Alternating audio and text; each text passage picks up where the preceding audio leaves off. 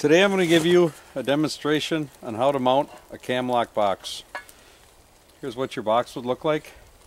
This would be a box for a Bushnell Trophy Cam. Notice the wings that go into the back of the box.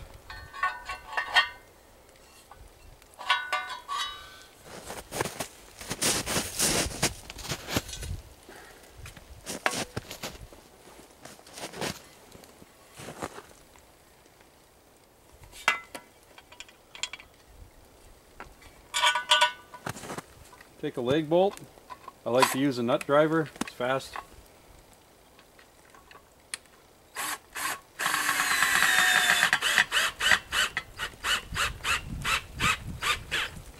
The typical deer camera mount is about waist high and straight out.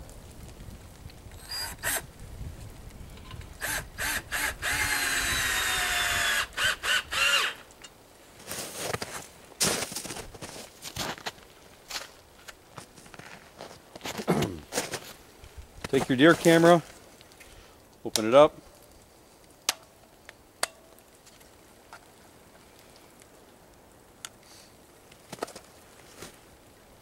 Turn it on.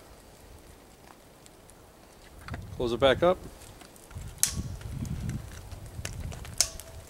Set your deer camera in the box.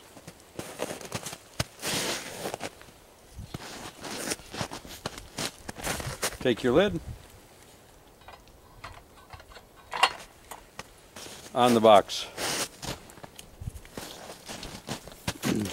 Today we'll be securing it to the tree with a Master Lock Python cable, standard Python cable. The cable goes through both layers of the box sideways.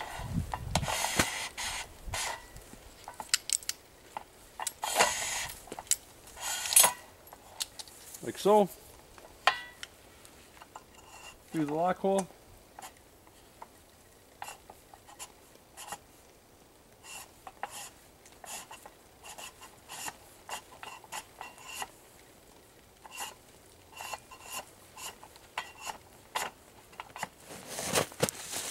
I like to loop it back in itself so it can't get in the face of the camera.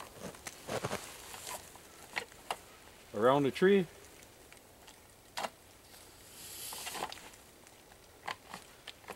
Pull it tight. It's that easy. Cam lock box.